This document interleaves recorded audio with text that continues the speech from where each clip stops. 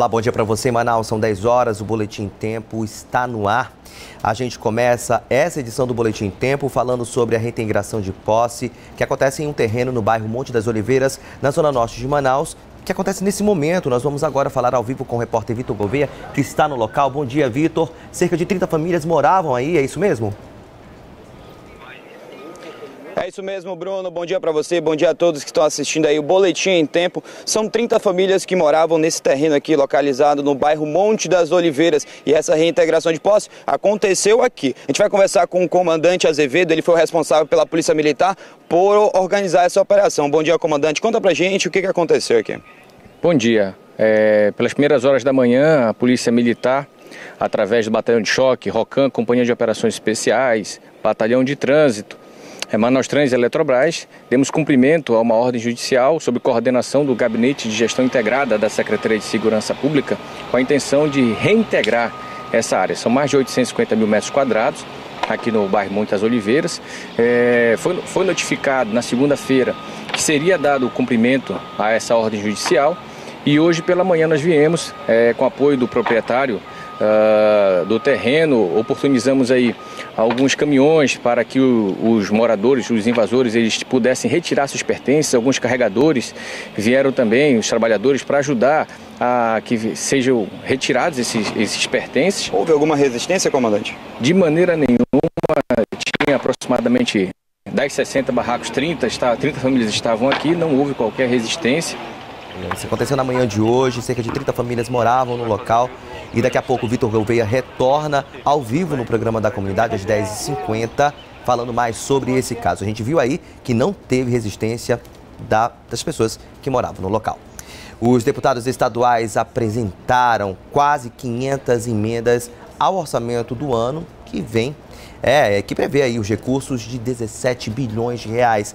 A votação da lei orçamentária está prevista para a próxima quarta-feira. O projeto da Lei Orçamentária Anual para 2019 tramita na Assembleia Legislativa desde 28 de novembro. Os deputados têm até o dia 21 de dezembro para colocar a proposta em votação. Caso contrário, o Estado fica impedido de aplicar seus recursos na totalidade em 2019.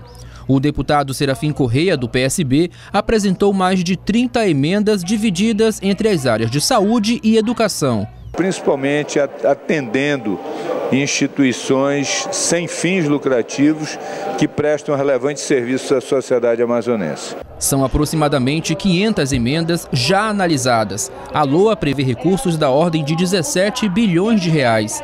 A Comissão de Economia da Casa deve apresentar a análise definitiva antes da votação. E a nossa intenção é de receber essas emendas e ajustá-las, adequá-las caso haja algum problema técnico. Nesta quarta-feira, além dos preparativos para colocar a lei orçamentária em votação, os deputados que não foram reeleitos estavam na correria para colocar em pauta seus últimos projetos. Temos pelo menos os 50 projetos que deverão ser votados ainda nessa quinta-feira e na próxima terça e quarta, juntamente com a LOA.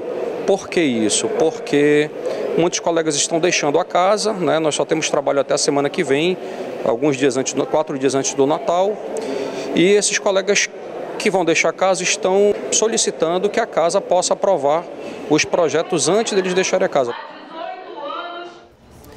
O governador eleito Wilson Lima participou ontem de um fórum de governadores na sede do Conselho Federal da OAB em Brasília.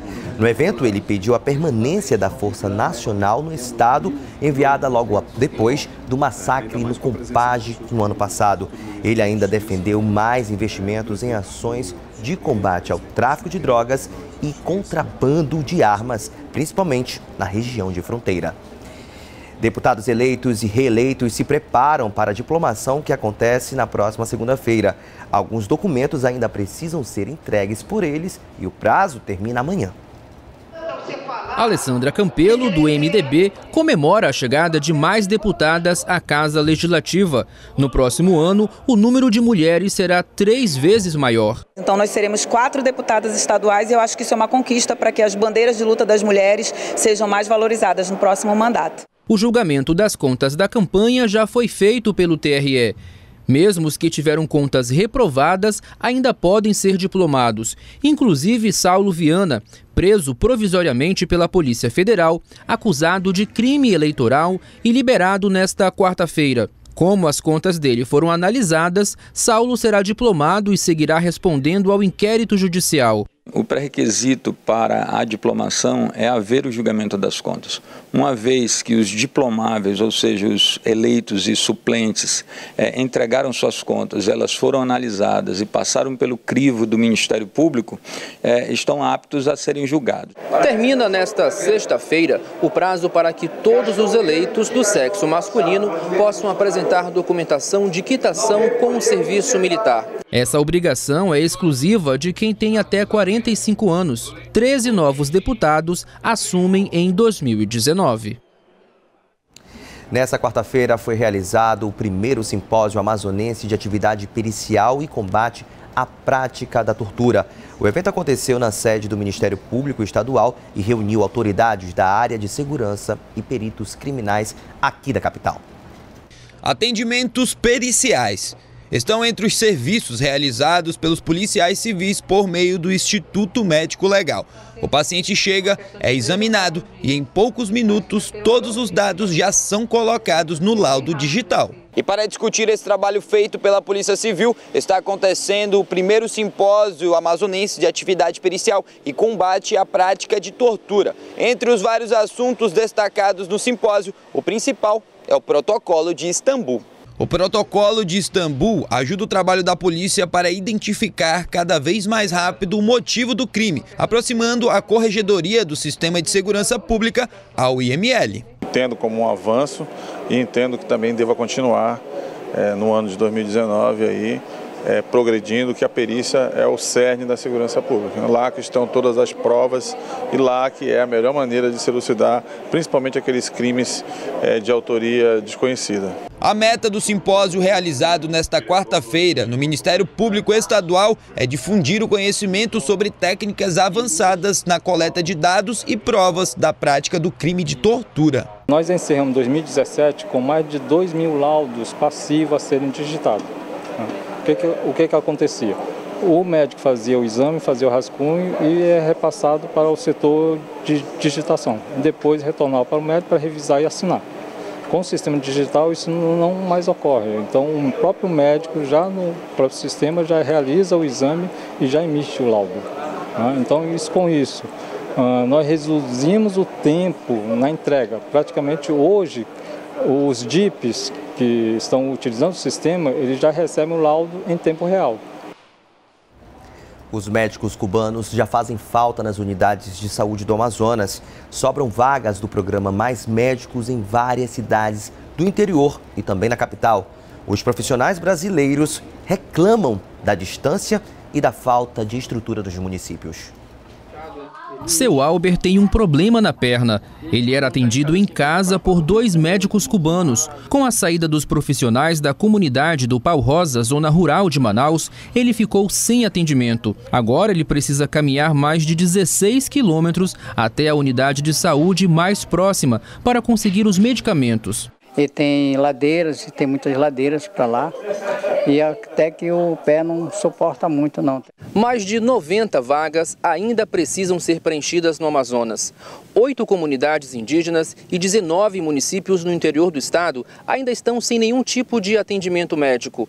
A região metropolitana da cidade de Manaus, principalmente a área rural, também precisa ser atendida. Hoje, quem faz o atendimento na unidade rural do Pau Rosa são as enfermeiras, além de uma médica que atende por plantão apenas duas vezes na semana. A unidade foi comunicada de que deve receber um médico ainda este mês. Fica faltando mais um que a gente aguarda, porque a gente precisa muito, né? É uma área muito carente que precisa de assistência. O presidente do Conselho Municipal de Saúde do Amazonas, Januário Neto, apontou uma situação preocupante: a desistência de alguns médicos depois da inscrição.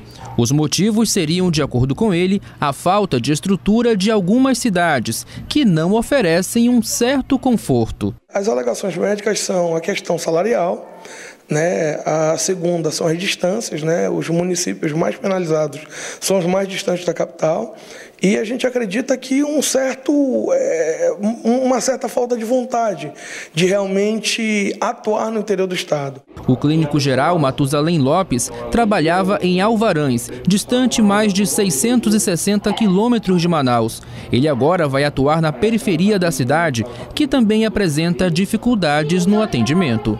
A gente vê que no início teve uma dificuldade, claro, quanto ao atendimento médico, mas eh, essa dificuldade já está sendo, sendo resolvida, pelo menos em parte desses municípios no interior. Quem comemora é a dona Maria do Socorro, que agora vai ter médico próximo de casa. Deslocamento, talvez para mim pela falta de condução, né, de ter que pagar uma condução, então já se torna muito viável para nós, né? Com as desistências, outros municípios no Amazonas devem estar na lista de espera e um novo prazo para inscrições pode ser divulgado. E olha só, gente, a produção de motocicletas fabricadas no Polo Industrial de Manaus esse ano aumentou em 17,5%. Os dados foram divulgados nesta quarta-feira pela Abraciclo. Manaus possui 118 mil motocicletas. É a oitava maior capital do Brasil com maior número deste tipo de veículo. E o Talmir quer entrar para essa estatística, sonha em comprar um transporte próprio e veio pesquisar os preços. A gente está adquirindo outro produto aí. A cada ano a gente troca de motocicleta. E essa alta na procura vem movimentando o mercado. Comparado a 2017, a nossa empresa faturou 48% a mais do que o ano de 2017. Assim como o Talmir, muitas pessoas tiveram a mesma vontade, comprar uma moto. Em 2018, o setor de motocicletas teve um crescimento de 17,5% comparado com o mesmo período do ano passado. Foram fabricadas mais de um milhão de unidades. Esse resultado foi divulgado pela Abraciclo, a Associação Brasileira dos Fabricantes de Motocicletas, Ciclomotores, Motonetas, Bicicletas e similares. É motivo para a gente celebrar chegando com, já considerando dezembro, né, devemos fechar na casa acima de um milhão de unidades. Né, já fazia dois, três anos que a gente não chegava nesse patamar. Para 2019, a entidade projeta um crescimento na produção de 4,3%, o que deve chegar a um número de 1 milhão e 80 mil unidades fabricadas. E além disso, focado em acessibilidade de preço. Nós não só estamos buscando aqui uh, produzir uh, uh, bicicletas de médio e alto valor agregado, também bicicletas acessíveis para atender a todos os consumidores. E até o repórter entrou na estatística em 2018. Dessas mais de um milhão de motos fabricadas, uma foi a minha.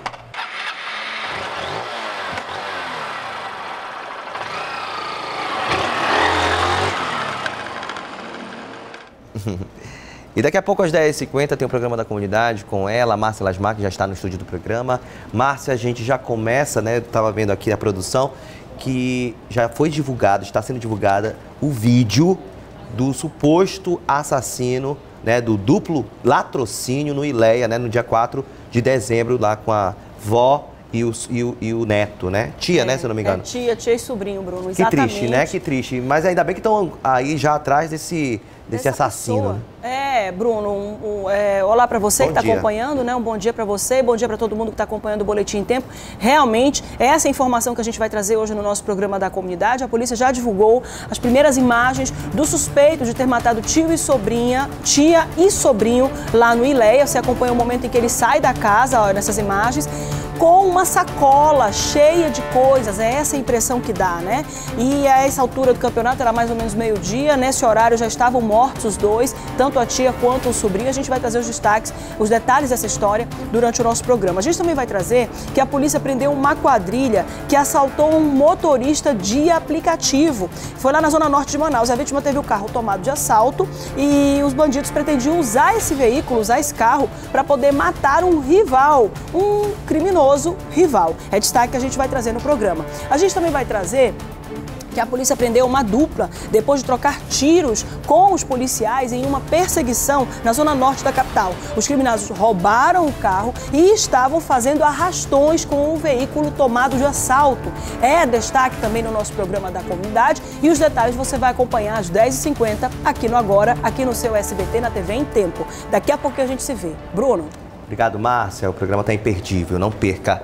O Boletim Tempo de hoje fica por aqui. Não esqueça de nos acompanhar pelas nossas redes sociais, na página do Em Tempo, no Facebook e no YouTube, ou então no Instagram, arroba TV em Tempo Online. Você pode também enviar sugestões de pautas através do nosso WhatsApp. O número é 99207 0090. Um ótimo dia para você e até a próxima.